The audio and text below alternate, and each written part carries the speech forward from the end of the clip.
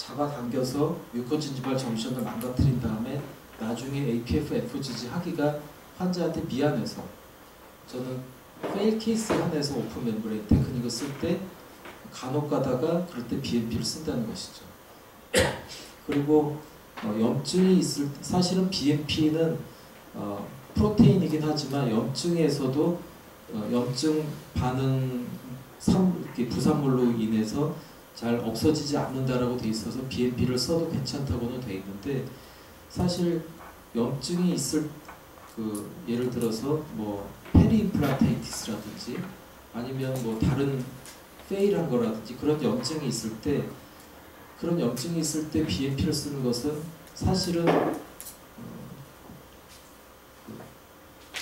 연조직을 위할 때도 있고 또는 고리식을 위할 때도 있고 두 가지로 나눌 수가 있을 것 같아요. 그게